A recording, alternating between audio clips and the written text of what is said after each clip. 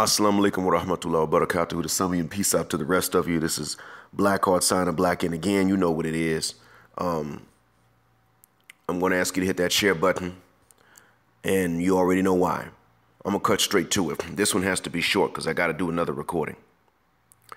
To get straight to it, it comes down to this. Uh, I'm not calling the matriarchal minions, uh, as Kendra D calls them, by the name Mandingo or Mandinka.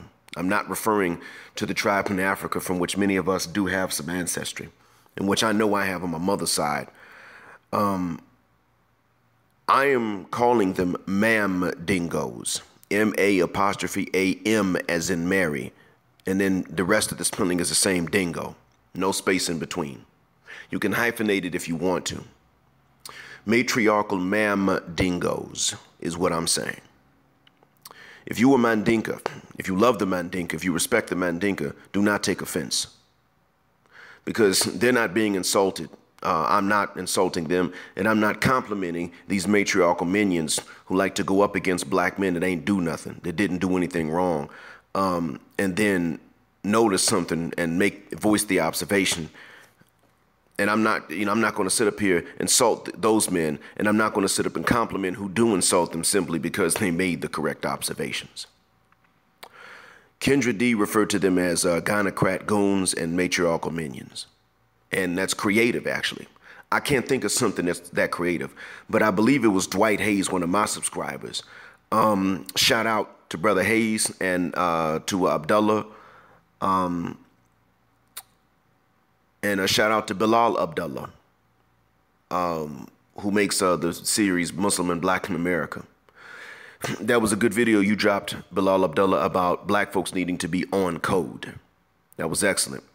He's bridging the gap between the practicality of uh, the revelation and the spirituality of the revelation or the older tradition that is older than the oppression of black people systematically. So, yes, Maamdingo. If you hear me say Maamdingo, um, and I'm going to try to pronounce it more clearly from here on out to be sure, but if you hear me say Maamdingo, I'm talking about one of those niggas that wants to always back up the women when they're wrong and not even when they're right, and wants to go against men when we're right uh, and not necessarily just when we're wrong. And if you say, if you hear me say Mand- Mandingo with an N, as in Nancy in front of the D, I'm probably more likely to call it Mandinka because that's how I hear them pronounce it. Um, they're more likely to refer to themselves as uh, men, uh, Mandinke people. When they're talking to each other, I hear them say that. So I'm likely to do that. That's what you're probably going to hear from me. Um, so that being said, yeah, I'm going to be more careful, inshallah. And uh, to any Mandinkas and to any who love them, Forgive me if I didn't pronounce it more clearly before, but no, you were never being insulted. Um, certainly not for something here that you didn't cause and you had no hand in causing.